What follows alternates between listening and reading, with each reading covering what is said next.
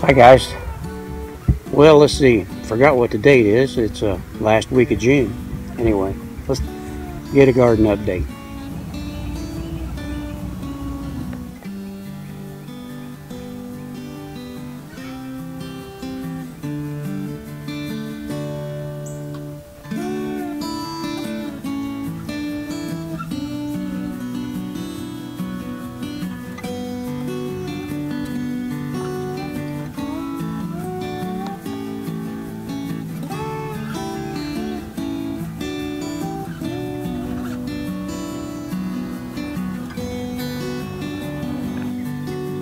We have uh, some extra tomato and pepper plants uh, that we had left over and nobody needed them, so we just planted them.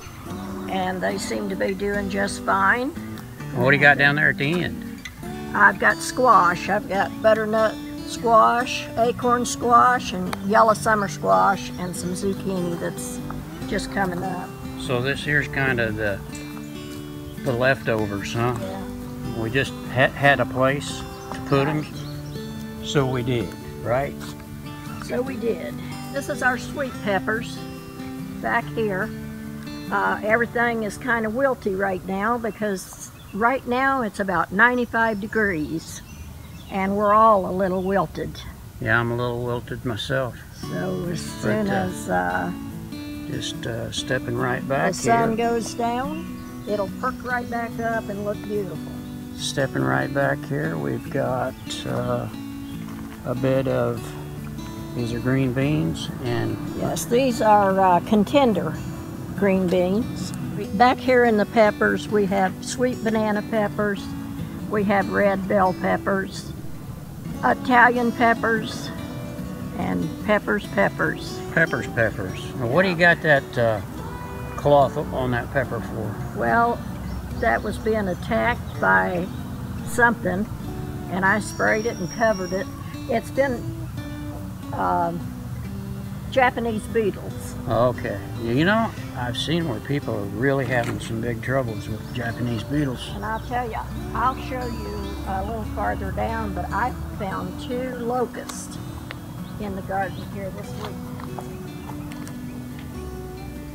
And here is that potato bed that I have showed you before. But in the past, they've been standing up. And I tell you, there are a few of them still standing, but with the hard rain that we've had, I'm surprised that there's anything in there that's not laying flat on the ground.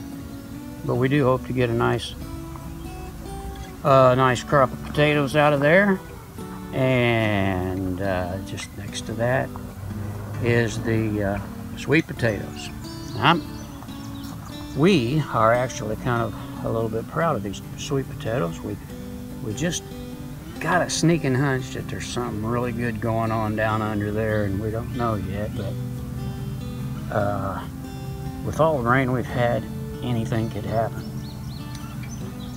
So right in front of that, Right here we have collard greens and cabbage. And collard greens and cabbage, and we didn't get the corn. This is our corn project. Uh, don't know what's going to happen here for sure. It, it looks awfully nice, but we uh, planted it really closer than you're supposed to. And Mom said get a picture of the flowers, so we're going to do that. And here's some more uh, tomato plants that really weren't planned, but uh, we just couldn't resist putting them in something and making them grow.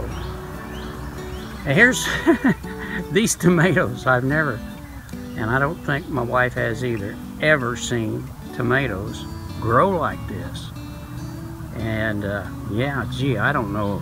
Is, is it the raised bed? Is it the soil we used? What is it? But some of these tomatoes are as tall as I am, and uh, they're looking good. Looking really good.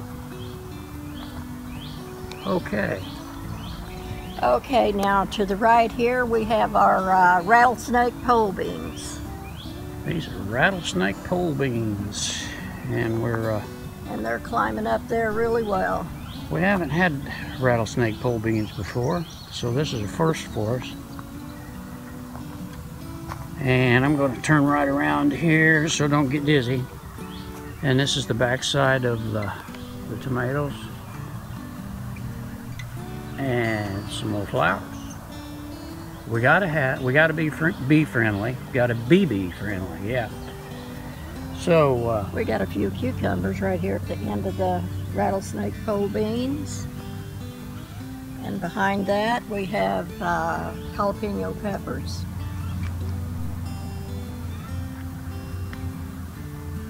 And if I'm not mistaken, this is a cayenne pepper here. So, uh,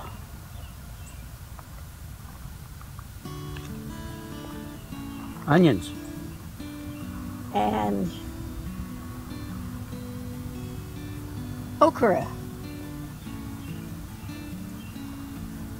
And I've heard of okra getting uh, six, seven feet tall. I've never seen any of that tall around here, but uh, hey, I'm all for it.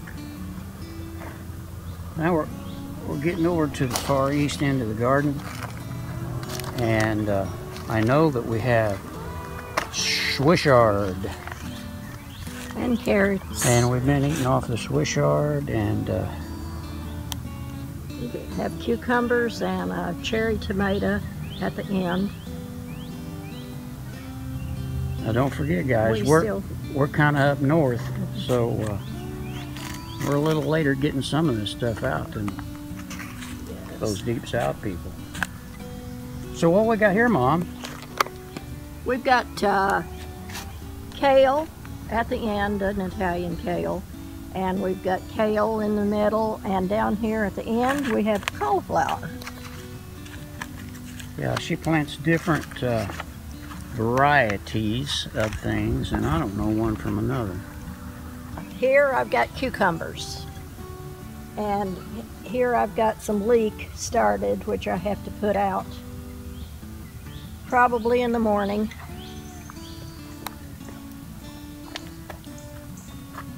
More potatoes.